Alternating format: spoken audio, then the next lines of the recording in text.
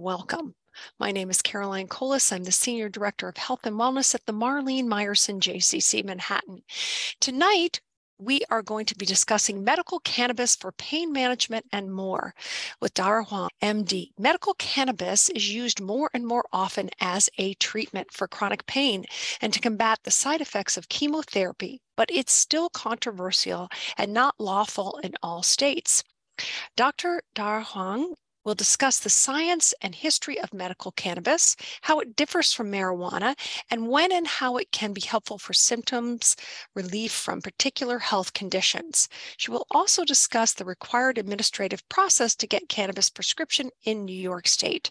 A little bit about our presenter tonight. She is a highly regarded medical expert and skilled dynamic public speaker, as seen in The View. You are divine and you are brilliant and you're a physician and it's his loss. That's right. Crain's New York Business, New York One. Double board certified in nephrology and internal medicine, Dr. Huang earned her combined undergraduate and medical school degrees from Brown University, Brown Med School, as well as a master's in medical science. As the first foremost leader in both culinary and cannabinoid medicine in New York City, Dr. Huang is a trusted authority in medical industry, and general community education. In addition to practicing both mainstream and cutting edge medicine, she has trained as a professional sushi chef under Chef Andy Matsuda. Hospital affiliations include Mount Sinai, Lenox Hill, and 2020 Healthcare Hero from New York City Health Business Leaders. Welcome to the call. Thank you so much for being here tonight. We are so very excited to have you here with us. Thank you so much, Caroline. Thank you, JCC, for this invitation. I'm so delighted to be here tonight to talk about an unbelievably remarkable yet controversial flowering plant. In medicine, it's not often that we see such strides and political shifts in the advancement in medical information and knowledge. The historical context is so rich, it's rooted in medicine, and it's been politicized for generations, for even probably more than vaccines itself, that it's affected nearly all areas of industry and society from law to policy to profit making to medical science, obviously, and even to race and social justice. But it certainly is a pivotal moment in our lives where we get to see such grand shifts in everyday living, even in our own neighborhoods, the changes that has taken place. Let me show you what's in the news. Back a couple of weeks, uh, the first wave of 36 retailers for recreational use have been approved, 12 of whom are in New York. There will be a total of 175 licenses that will be issued, 25 of which will be nonprofit. But this is rolling and rolling very, very quickly, where we might be seeing the first recreational brick and mortar location by the end of the year. And you might ask yourself, well, aren't I seeing a lot of dispensaries already around the corner? I just did a quick snapshot of the smoke and vape shop, and you can certainly see a number of locations throughout Midtown, Upper East, and West Side. None of these are licensed, by the way. So let's see what recreational is, what adult uses, what how it differs from smoke shops and medical use. Just a word of caution these unlicensed storefronts have a lot of claims in terms of products. Is it used for recreational use? Are you using it to enjoy? Are you using it as you would, say, alcohol? Or are you using it for a medical conditions? Being very clear as what the purpose is also determines where you might be seeking or the advice that you might be getting for medical or recreational adult use cannabis an article came out soon after from the New York medical cannabis industry. It's more of a trade business representing the registered organizations. They state a lot of these unlicensed storefronts are not only illegal, but they also are contaminated with heavy metals, bacteria, and pesticides. In each variety of cannabis, you can do a fingerprint of its ingredients. For example, these are two varieties, cultivars, and there's a breakdown. The licensed registered organizations and the ones that will be coming to New York reports the ingredients and if there's any contamination, if there's any pesticides, it's all regulated. So let's just go back a little bit. It's a very long history of medical cannabis stemming back from East Asia. The agricultural god Shen Nong, the beginnings of traditional Chinese medicine over 3,000 years prior. The Chinese emperor references hemp as popular medicine or numbing. The father of Chinese medicine, Shen Nong, also discovers the healing properties of cannabis. A lot of it was empirical, a lot of it was trial and error and trying things themselves. The Egyptians had also used this for glaucoma, for inflammation. In India, it was used in ancient Greece as well, but it's typically seen as traveling from east and then moving its way westward fast forwarding into the 1500s, the Spaniards brought cannabis to the Americas. We have Sir William O'Shaughnessy, who researched cannabis in India, and it was in the 1800s, a legitimate legal medical compound, part of the pharmacopoeia. There's many uses of the cannabis plant itself. There's industrial hemp, which I'll distinguish the difference, but there's the hemp or the cannabis plant that has the roots the stems, the leaves, the flowers. When you hear the word flower or the bud, where the medical components, THC and CBD, is richest in, that's what we're referring to the flowering plant, the flower itself, essentially the female plants. But the other parts of the plant, commonly known as industrial hemp, has other various usages um, including textiles and paper. So, what happened? So, what happened was there was a lot of competition and propaganda that then occurred. There was the movie Reefer Madness that came out, the Marijuana Tax Act of 1937. But really, why did this all happen from a medical plant that was used to help with pain and inflammation to something that was seen as illegal and illicit? This is Harry Anslinger, who was the first director of the Federal Bureau of Narcotics in the 1930s under the Nixon administration. And there was a campaign over 30 years to view cannabis as very foreign, illegal, and really a lot of it had to do with the competition of industrial hemp with a lot of the corporate barons at the time, including DuPont and the industry bigwigs. There was, again, the Reefer Madness, the Marijuana Act, and then the DA then put it on the Schedule 1 of the Controlled Substance Act, which it still remains today. But there is federal cannabis that is being grown, and this is only in one location in Mississippi. There are still four people who receive medical cannabis from the government. Over the years, it amounts to something totaling half a million dollars, and this is federal tax money. They don't take any new patients, so these are those who are left. Over time, you know, we see that there is a lot of use for the medical cannabis plant, not on the legal and political side, and putting that aside, but just looking at the health benefit. This is a more recent study in 2021 looking at CBD there was a total of almost 400 adult users, and a lot of them overlap. So that's why you'll have over 1,600 responses. And the most prevalent use is for anxiety, then stress, general well being. So just calming the system down mentally, just taking the edge off. And that I certainly see that in my practice as well. Things changed really in 2013 of the interest in cannabis, but also how we viewed it. And there were a number of reports, particularly with Dr. Gupta, who changed his mind on it. He did the research and investigated. We grew up with Say No to Drugs in the 80s, and this all remnant of the 1930s. And it's on the Schedule 1, which means that it's not used for any medical purpose at all. The other drugs that are on that list are, for example, LSD even opioids would be scheduled too. This is an older study, but evidence and recommendations for research were the studies that were shown to be useful for cancer, for chronic pain, and multiple sclerosis. I point out these three because those were amongst the first 10 qualifying conditions when New York State had approved for medical cannabis. Chronic pain wasn't on that list until the year after, but cancer and multiple sclerosis was. The 11th condition, which was chronic pain, and then followed by PTSD. in terms of the news in 2017 when medical cannabis in New York was in its first and second years and we saw older patients using it. This is a little bit misleading. In the first picture, which was the one that was used in the article, it looks like something very illegal and illicit, but actually, when you zoom in on it, is a vitamin water bottle. It's nothing behind closed doors at all. So take critical eye in terms of how things are presented and the news that we see it's a changing landscape. This is in 2018. There were 30 states approved for medical use, nine for adult use, recreational use.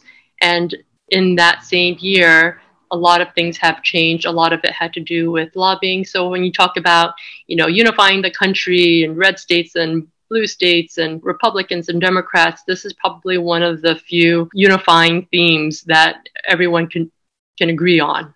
Later that year in December, not much shift, but 33 legal cannabis states and 10 recreational. Throwing in politics with medicine in December of 2018, this is when Governor Cuomo was running against Cynthia Nixon, and there was a lot of talk about cannabis and legalization in that same year. Um, shortly after he was reelected, Cuomo then put efforts into legalizing recreational marijuana within months. And this is New York, so months is really not months, months is really two and a half years. It wasn't until March of 2021 the Marijuana Regulation Taxation Act, MRTA, was actually signed into law. There was a lot of back and forth. There were a lot of committees, a lot of policy changing, and you can imagine that it did take over two years from legalization into actual law. Within that package, the medical marijuana program was no longer by itself medical. Use of marijuana, by the way, is um, rooted in prejudice. So we try to use the plant, the scientific word cannabis. I'm happy to see that they made that adjustment as well. The Office of Cannabis Management will include not only the medical cannabis use, of which I'm part of, but also the legalization of the adult use. Some changes on the medical side. Previously, there were the qualifying conditions, and each condition had to be associated with symptoms. So if I wanted to qualify someone for chronic pain, I had to show that they had chronic pain and then what it was associated with cancer, with nausea or cachexia, Parkinson's disease. So it was fairly limited in terms of what I could recommend the cannabis for. I certainly saw a number of patients say, for example, who had insomnia or anxiety. The only thing that was along the lines of mental health care was PTSD, very limited portion of what this plant could be used for. But now, under the new program, as a physician, I can choose for what conditions would be useful. It gives me a lot more flexibility into what I can prescribe or recommend for, how to do the dosing, and writing out that recommendation according to my experience and also what I've read and researched, and not based on a list. The other thing that was added back a couple of months ago certified patients can also grow their own cannabis plants, limit of six, three mature, three immature. This was not possible before. If you look at the Office of Cannabis website, there's a lot of literature on how to do so, which still exists. Patients come and see me, register online, receive a card, and go for the purchase. I also educate my patients, you know, how to proceed, what to take, how to take it, if this doesn't work, what's the next step, as well as the dispensaries and what they offer. And what they had offered prior was non smokable only, no edibles, meaning an oral food form. The options were fairly limited, only having capsules or pills available oils in the form of tinctures, sublingual tinctures that you put under the tongue, and vaporization, which is inhaled.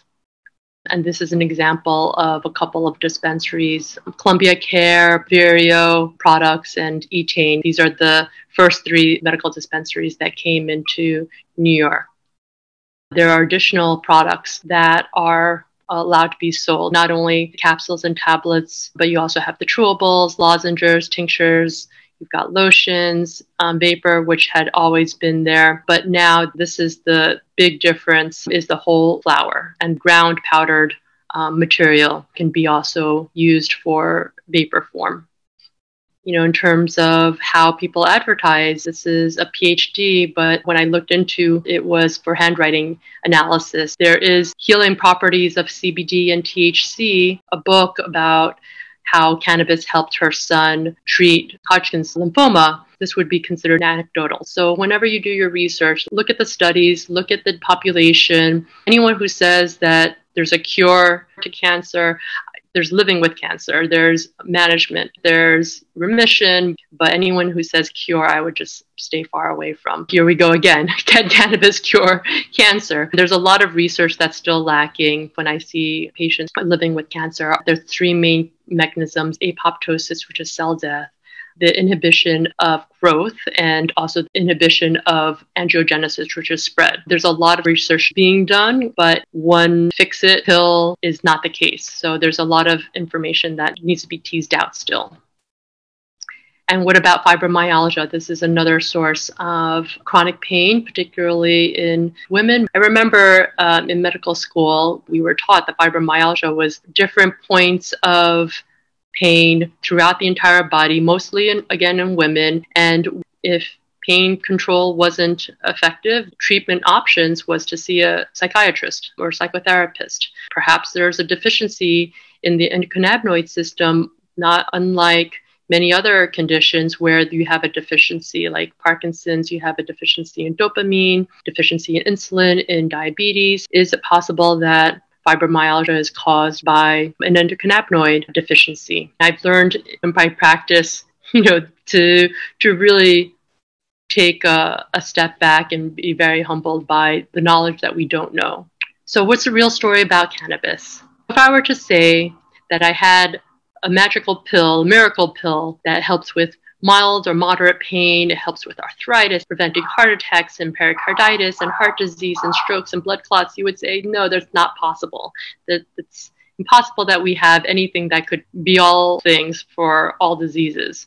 But this is aspirin. Originally, salicylic acid derived from the bark of a willow tree. And it helped with headaches, pains. Before we had the science to prove it, the herbalists and doctors would try it little by little and, and see if it would work. So that was real empirical science. Many medications are derived from plants, a lot of chemotherapy agents, even opioids. I mean, this is originally a poppy seed, and you can't overdose on poppy seeds, but over time, with synthesizing the active ingredients, it could be dangerous, obviously cannabis can be used to help reduce pain. And uh, certainly have seen in my practice those who are on opioids and want to decrease the usage of opioids or don't even want to start to begin with have effectively used medical cannabis either as a replacement or as an adjunct. And what is cannabis? So, cannabis is a plant, very simply.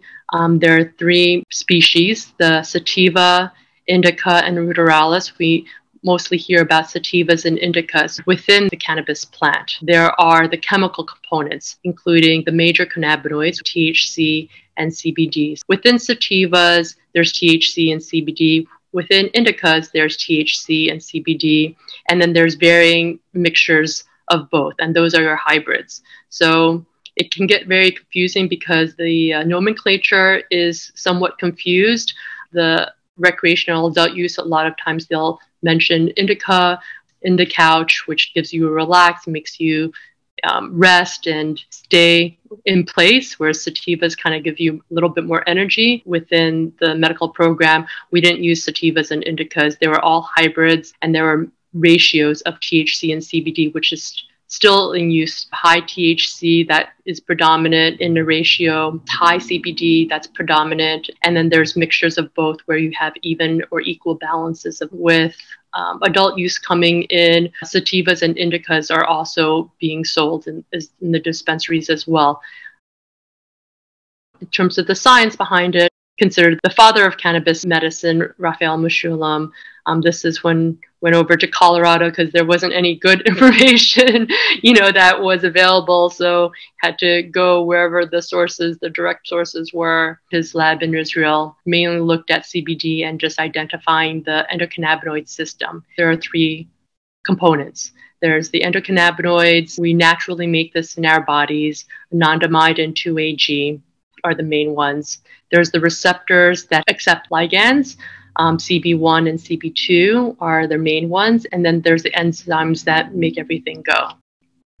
And the CB1 receptors are distributed mostly the brain and nervous system, but certainly throughout the entire body as well. So they're on nearly every single organ. That's why there are so many different beneficial effects. And how cannabis works is this the endocannabinoids, which we naturally make, found in mother's breast milk, where you have a high amount of anandamide, and that's why we have receptors for it because we make this. What do the endocannabinoids do? The the whole point of all of this is to maintain homeostasis, to relax, to eat, to sleep, to forget, and to protect. And we're talking about neuroprotection. The phytocannabinoids, we talk about medical cannabis, the chemical components that are plant derived act on these same receptors. Whether it's the cannabinoids that we make ourselves naturally or if it's from the plant itself, it all goes down the same receptors that we find in the brain and in our tissues. This is the phytocannabinoid side. The two major cannabinoids are THC and CBD. The THC is the psychoactive part of it when they're feeling euphoric. You also have the CBD, which is non psychoactive. And each component, whether it's raw or heated or aged, changes. Each of them have its own medical benefit. And this is just a depiction of all the different benefits that CBD, CBGs, um, THCs have and how it works in the body. Again, the reason why it has so many different purposes is because we have these receptors on all of our organs. Lastly, the synthetic cannabinoids made in the lab, obviously, Marinol is FDA approved, used for appetite stimulation, namely in um, cancer patients or HIV patients. Marinol is a synthetic cannabinoid. It's prescribed. You can have your physician write if it's indicated um, but it is a synthetic cannabinoid. And I would also say that on the synthetic illicit side, you've got the high THC, the K2 and spice. I wouldn't even say that that's cannabis at all. It's not marijuana at all. It's something that's unrecognizable, which is why it's so dangerous. K2 and spice, it's completely unrecognizable, the symptoms of which is altered high THC. Um, this is not natural at all. This is as if we were plucking out vitamin C out of the orange. You can overdose on vitamin C, vitamin D, any of the vitamins, but you don't really overdose on the orange. And what we're talking about in terms of the medical cannabis side, in terms of the plant versus what's created in the lab, is the difference between something that is created versus something that occurs naturally. The reason why the natural plant doesn't cause those effects is because you've got the entourage effect and you also have a balancing effect. Cannabinoids don't work well by itself. So, back to the orange example, not only do you have the vitamin C, but you also have the water, the fiber, the terpenes within that. You have a whole host of things that don't cause you to overdose on it. This is what we mean by full spectrum or isolates. What you don't want when you look at the over the counter products is isolates because while they're trying to say, yes, there's no THC, you won't get high, but that's not actually how the plant works. You do want some THC to help CBD work and vice versa. The THC is the main driver of cannabis, but the CBD is what we call a negative allosteric modulator, which helps dampen and mitigate the negative effects of THC. This is uh, THC and CBD with all its various uses in medicine. Not only do we have major cannabinoids, which is the THC and CBD, but you have the minor ones becoming more and more in use CBNs, CBGs, CBCs. In the medical programs, there are some dispensaries that have the CBN, which is helpful for sleep, that doesn't cause the psychoactive effects that THC typically does when you're talking about treating insomnia CBG is used for GBMs, um, glioblastoma multiforme brain cancers. Um, again, this is not something that we would say is the it product, but you know a lot of research is still being done looking at not only the major cannabinoids but the minor ones as well. You also have the other components of the plant, the terpenes, the flavonoids, I don't think fatty acids, the omega 3s, and olive oil, the fatty acids, oleic acid that's in there arachidonic acid is one of the precursors for aspirin and, and NSAIDs, for example. And CBD is certainly used as a anti-inflammatory medication. As I mentioned, not only do the cannabinoid have its usage, but you've also got terpenes and terpenoids used in medicine as well. So again, this is what the entourage effect is, is not just one component plucked out, but the entire plant itself used in concert. And these are some of the common cannabis terpenes, the limonene, pinene. This is also what gives its smell, whether it's a more lemony smell or more lavender, each one has its unique fingerprint. And in terms of the difference between hemp oil versus cannabis oil, the hemp plant cannabis, it's the entire plant itself, but where the CBD or the THC is derived from is important because there's bioaccumulants in the roots and stems. The hemp oil is the industrial hemp.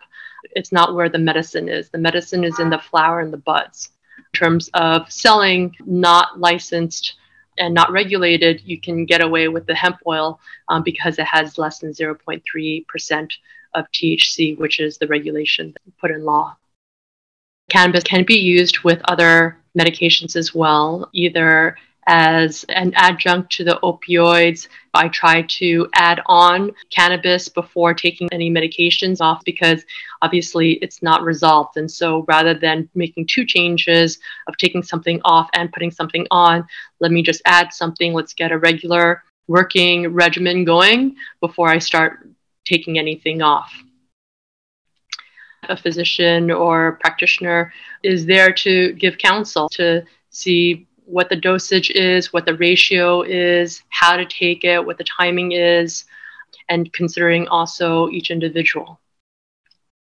There's interactions, medication interactions. It goes through the liver P450 cytochrome system.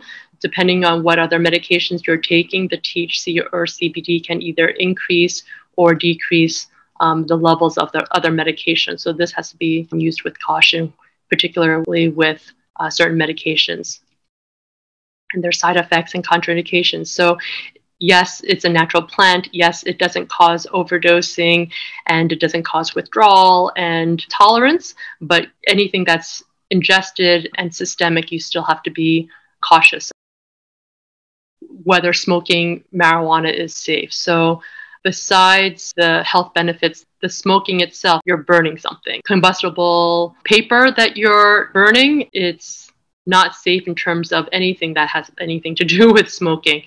Vaping is different though. Vaping is is heated to a certain controlled temperature and it gives you a longer lasting effect that's maintained and regulated. So it's not just it's combustible, all the medication is burned off and it's done. There is a range of temperature. So this is why vaporization is different from smoking. Question of what about the lung injuries, the EVALI, the e-cigarettes, Juul, and other products again, unregulated. The vapor products in the medical cannabis program was never taken off, but the CBDs in coffee shops and smoke shops were all removed, thinking that it was vitamin D acetate, the vehicle of which it was diluted, was the issue there.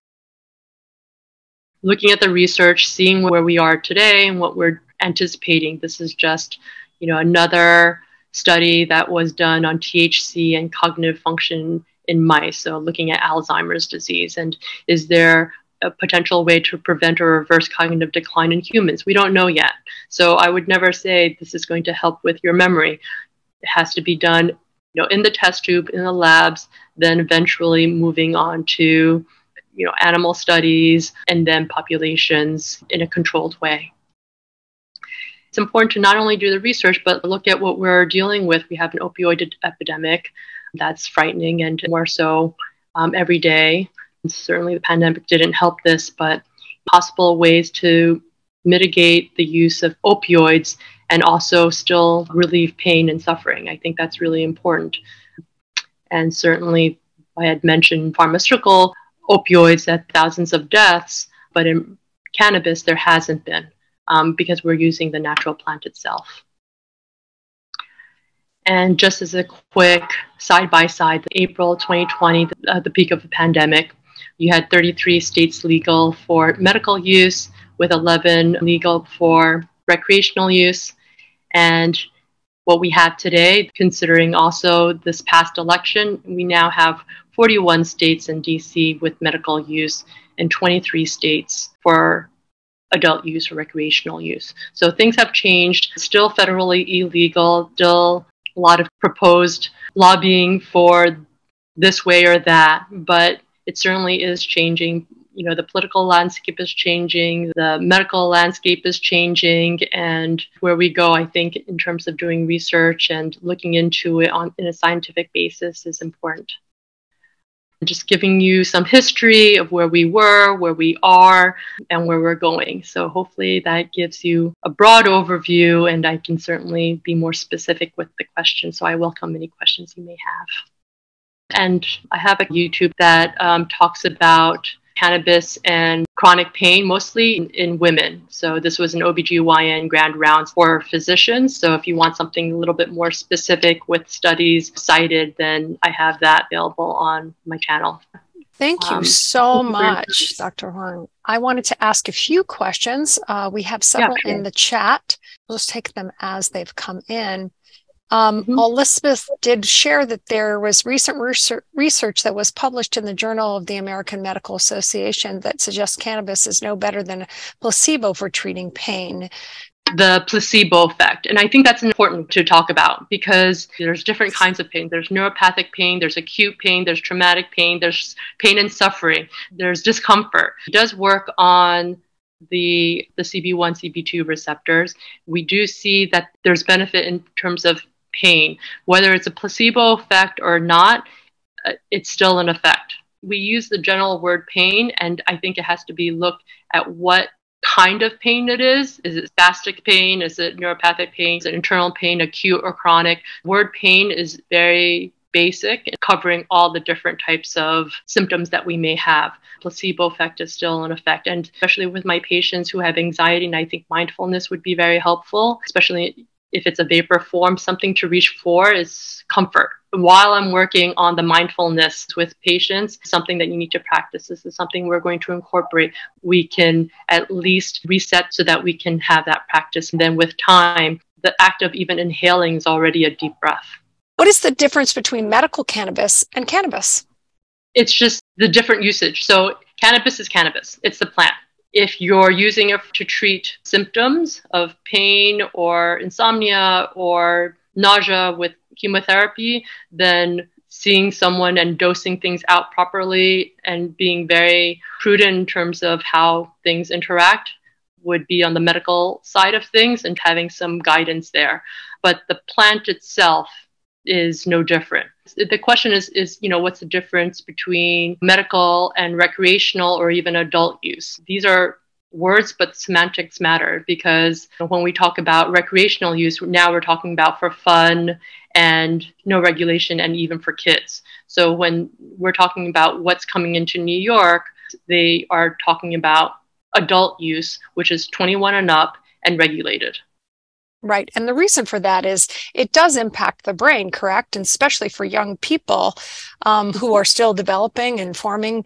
There's right. has there been enough research to know what the impact on that is? NIDA, which is the, the National Institute for Drug Abuse, they research that they use, and if you want to get a NIH grant or funding, it's to show harm um, it's for drug abuse. And so, and namely, they do look at um, kids and adolescents up to the age of 24. Brain is still developing. There's too much plasticity, neuroplasticity that Risking. you know not only the physical, not only the physical addiction, but the social addiction as well.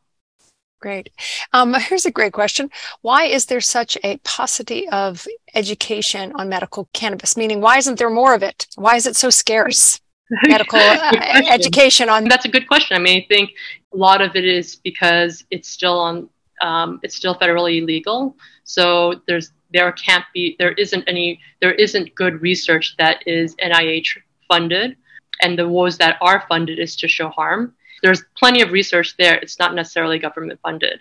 And it's very expensive to do those research. That's not going to be somehow um, sponsored by you know some other agency like an industry so that's one piece of it and also it's you know so when doctors say well there's not enough research there there's plenty of research you just have to look for it because there if you go to pubmed there's more and more every single day more needs to be known and, gotcha. and I wish it was in the medical curriculums. Yeah, it's so interesting that you're saying that it's kind of like the positive psychology field. Uh, therapy used to be focusing on what is wrong versus what is strong. And you're saying in some ways the, the NIH is focusing on what does harm instead of what are the benefits, right? Um, that's fascinating. Um, Melanie asks, why does it feel different for my tremor whether I eat it or smoke it? Is that difference in dosage? The form of administration is important. So whether you inhale it, whether you ingest it is going to be different. Smoking or inhaling it is going to be the quickest onset, but it doesn't last as long. If you eat it, it takes an hour, an hour and a half for it to get through your gut and it lasts for a longer period of time. So knowing how to use it, the form of administration and your absorption is going to be different. And by smoking it, it the tremors would respond faster than than eating it. Do people have both dosages or do you only get one? Mm-hmm. In other yeah, words, I, I, I, build up upon them, especially when it comes to sleep. There's issues with sleep initiation versus sleep maintenance. Sometimes we want to get to sleep right away, but then we want to take us the rest of the way. So sometimes I do stack different forms depending on what's going on. These are great questions, everyone. Camille asks Does it work for sciatica nerve inflammation or orthopedic pain? Yes. in a nutshell, yes. Yeah, and can you tell us about, you know, there's different kinds of arthritis and some of those medications are really severe. Does cannabis uh, work alongside them or in replacement of those some of those drugs? It could be used either or both. So there again, there's different kinds of pain. There's inflammatory pain, there's neuropathic pain. The sciatica pain, probably neuropathic pain. Inflammation is more on the rheumatologic side, like arthritic pain or osteoarthritis. That would be more inflammation. Orthopedic pain is mechanical, it's more structural.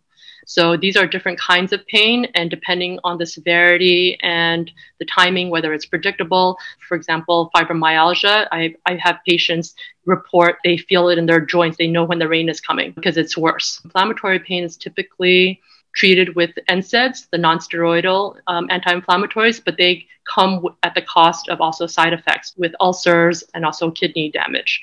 Neuropathic pain is typically treated with gabapentin or Lyrica. Those are the gabapentinoids. And orthopedic pain, which is more mechanical or maybe even it's inflammation, often be used opioids. The opioids go through the mu receptor. So these are different kinds of pain each with its own treatment. The cannabis can be used because it does have overlapping effects without being toxic like an NSAID would be. Are there specific places just to get medical cannabis? Yes, there are specific places. There are now 10 registered organizations throughout New York State. Each of them has four branches when I started, there were five, you know, we were looking at one dispensary at a time. The best place to go, if, if there's any questions, is the New York government website. These are the medical dispensaries that are legal. And those are the only ones that I turn patients to because those are the ones that have the regulated and quality assured products. Um, Lauren asks, please ask the doctor if she uses Buprenorphine, B U P R E N O R P H I N E in her chronic pain practice? I strictly work in the medical cannabis. I, I, don't write the opioids. If people are on Ativan or benzos or the opioids, then I take that into consideration and then try to add this on and then take anything off. Are there any benefits prophylactically for our health to be taking CBD or to be using medical cannabis? In terms of wellness and health, yes. there are certainly people who use it more like a, like a, vitamin and just keeping things stable. I see them when they're on their sick side. And yeah, do you so. feel there is some evidence about that? In other words, let me tell you why. I recently interviewed Dr. Matthew Fink, who's a chief of neurology. Oh, yeah. yeah, I know him too. Cornell. And this question was asked of him, and, and he was saying, you know, my kids, right? Someone said, my kids are trying to get me to smoke pot, right? But I've never smoked pot. And they just said, it's good for me. It's going to make me relax, or it's going to help my Parkinson's or my. And he said, listen, the greatest risk for our older adults, of course, is falling. So if you haven't had been smoking anything, know that it's a substance that affects your state. Your so right, your cognition and your state. So you wouldn't want to start just for the heck of starting mm-hmm. because right. right. because you want to uh, you wouldn't want to increase your your fall risk. And I thought that was CBD again, you know, different from THC. So the THC is a psychoactive component that affects cognition and psychoactive effects. Within the medical program, these are all very microdose. These are very small, milligram by milligram. I go one drop at a time even. So this is not those big doses that we're talking about that we see on the recreational usage. Does insurance so, or Medicare pay for medical cannabis? Federal program. So no, Medicare will not cover. Insurance does the no. That's I mean this is the problem. the short answer is no. The short answer is no. I could give you all the myriad reasons of what we're working towards. Until it gets off the list, it's not going to be seen as medical. That's going to be the the law. I would also contend if you can prove to your insurance that instead of taking 12 different medications for sleep and anxiety and depression and pain that you can take this one thing. Maybe they might say you know what? It's cheaper for you to take cannabis and not pay for all those other medications. Can we switch to cancer for a second? Because i know that we have some folks on the call and there and that is something that's dear to your heart and something you're very familiar with. Yeah. cancer treatment nausea all kinds of things not wanting to eat. Mm-hmm. Where do you see it being mm-hmm. used and or even in your practice to really mm-hmm. help with not only the treatments, but maybe post treatment. Is there any use there? Yes, absolutely. So I usually see patients when they're about to undergo or undergoing chemotherapy. So it helps with chemo associated nausea, vomiting, pain.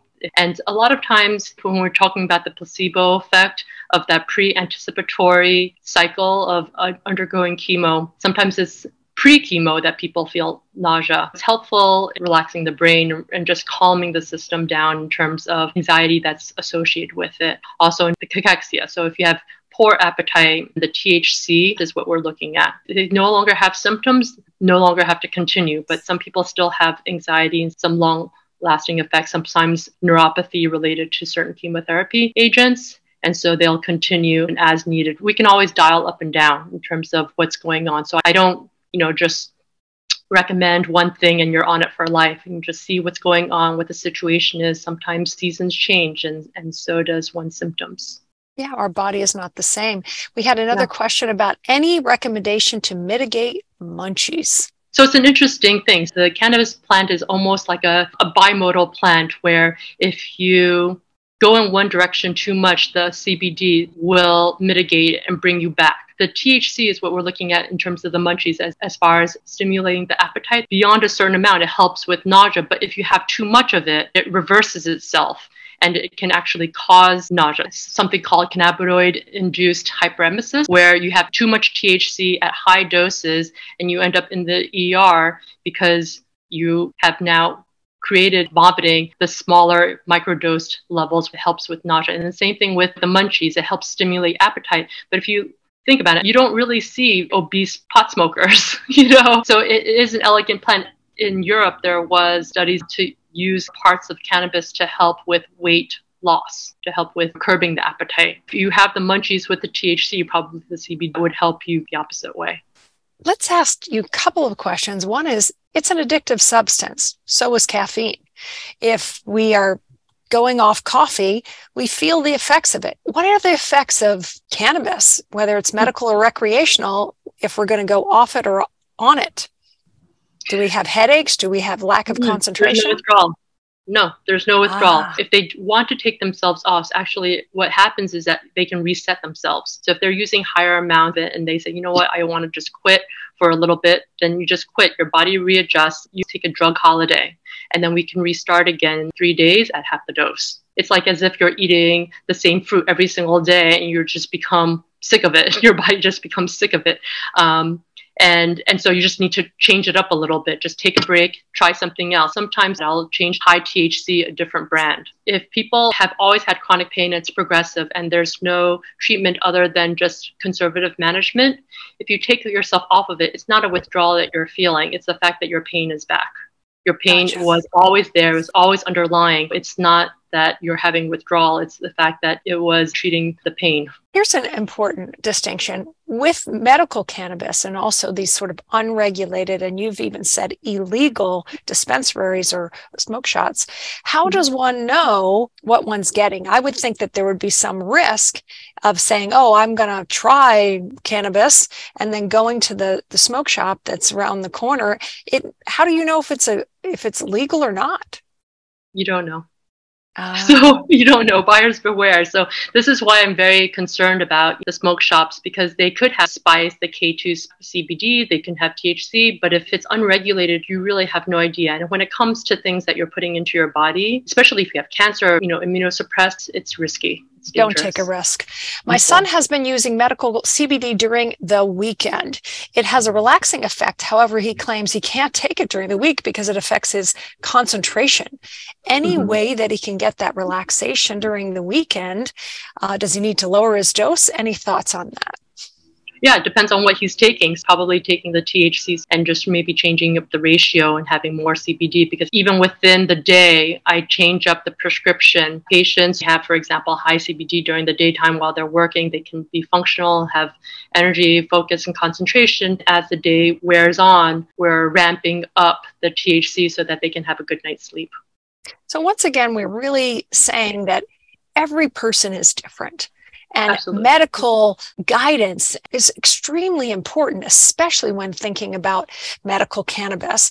And it sounds to me like since we first met, which was really a while ago when this was kind of a, a new, yeah. that more doctors, would you say, can prescribe this now? Or do you need to go to somebody that has this as a specialty? Any doctor, if they have gone through the training, can prescribe. Through the Office of Cannabis Management, a list of physicians can recommend. The question is have they gone the training and have they certified themselves? Even if they've certified themselves, you know, and they're on the list, they may not necessarily give guidance with very specific specialties that they're in. You know, in New York, you can be the specialist and have great depth in one thing, but you may not be able to cross over. Right, because we don't know how it's going to interact with your body. And it actually sounds like I love that you're you were a former sushi chef and, and, and a cook. It, in a way, with the different dosing, you're like cooking, right? You have right. to see how, the effect of the right. it on the patient, and then then work with and them. go from there.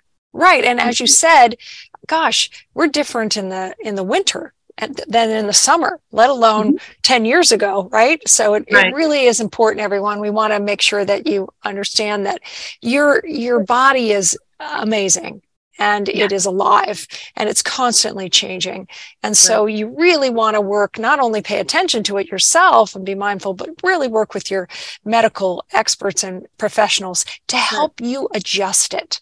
All right. It's a, it's a wonderful, I would say. No, I, I, I also see that in terms of being mindful about your pain. So when there's predictability or unpredictability, is it seasonal? Is it seasonal affective disorder? Is it raining outside? I mean, these things do change. I've had patients who just said, I just have pain all the time 24 7 doesn't stop. Then when we actually pay attention to is it affecting your sleep? Let's work on the nighttime. Does it affect your daytime? Is it when you're moving? Is it when you're still? Is it better or worse during the day? We can adjust daytime nighttime middle of the day and as needed. Having that foundation of something stable and then having those breakthrough then the next step would be can we prevent your pain rather than being reactive to it? Can we see that something's coming something's stirring before it gets to the point where now your body is on high alert and now you have to reactively do anything. It's almost like in panic mode. So if we can be more proactive and preemptively treat before it gets to that point, then that would be a more elegant solution than waiting for all the inflammation to just fire off and say, you know what, now I'm in distress. And where do you see the future of medical cannabis? Do you have a have a dream or a hope for uh, the field? Since you've been no, in it I, since think, the beginning. I think you know what really I you know medical education is going to be important. I think that this will be its own subspecialty. You know, I think there needs to be board certification, not just for all comers. There are people who are prescribing, but I see a lot of second and third opinions, and I see the medically complex. If it's something simple, then it's pretty routine. But now I think there will be a, a specialty board. I, I'm hoping it has to be taught in medical schools. You know, you have a digestive system, a pulmonary system, a, a general urinary system. You have an endocannabinoid system, and there isn't enough attention and education. Today, you probably have more information than most doctors out there. Wow. Well, that's thanks to you. Um, Dara, anything that you would like to finish with? You know just covered it having these conversations really important i think you know we're not only in a very pivotal moment in time and as we proceed in learning about everyday living and lifestyle medicine um, but it's an entire movement that's changing, and we're, we're seeing this unfold right in front of our eyes. I mean, we really are witnessing history as we're going along. So I went into 3,000 years prior, but we're seeing these changes as it goes along. I used to just go year by year with how many prescribers, because it used to be like less than a handful, and, and now I see more and more. So, you know, I, I like remember, I just, right? I remember, I remember every single thing because I was the first one to do it. So yeah. I remember it, it's it's. I think there were like four dispensaries when you first did our your first lecture or something. There was like one and in New Jersey. Like a, I wasn't even doing. Yeah, I wasn't even doing lectures then. I was it's maybe a year or two because again, I'm I'm a very conservative person myself, but I'm very much looking at the ins and outs of the body in terms of kidney disease, but also in terms of medication. So I'm very very prudent, and I think that's why the the referrals that come to me I always appreciate, especially when it's a physician's family member that they sure. are now entrust you know their care on to me. I so. thought of one last question. There are yeah. a lot of people that are looking online. Things are being advertised about buy these CBD gummies. Any, and yet they're expensive. And sometimes mm-hmm. they, you'll join them. It'll be two or three hundred dollars a month, right? And you mm-hmm. take some of these. Any way, buyer beware. How do how do you even know if you have a good gummy or not or what are what are those things they, they've even done studies on the different parts of the gummy if it's homogenized or not so the top of the gummy head will be different from the tail if you take it apart. It's very variable. It's a huge burgeoning industry. A lot of opportunity very lucrative. And so people will cut costs. It's very concerning in what you're getting and what claims are out there. Even amongst those who are prescribing there's also variability Everyone, thank you so much for joining us. It's been a pleasure. And um, Dara, it's always lovely to see you. I hope you come back. You. I'd love to talk with you about food as medicine because I know that's a oh. passion of yours. Mm-hmm. And we haven't had that conversation. Anybody else want to hear for that? Can you give me a thumbs up? Yeah, uh, lots of hands raised. So we will have you back. Thank you once again for a very informative and in depth look at CBD, THC, medical cannabis and the history and the future of where we're going. Thank right you now. so much. Thank you for everyone's time tonight. Take care, everyone. Be well.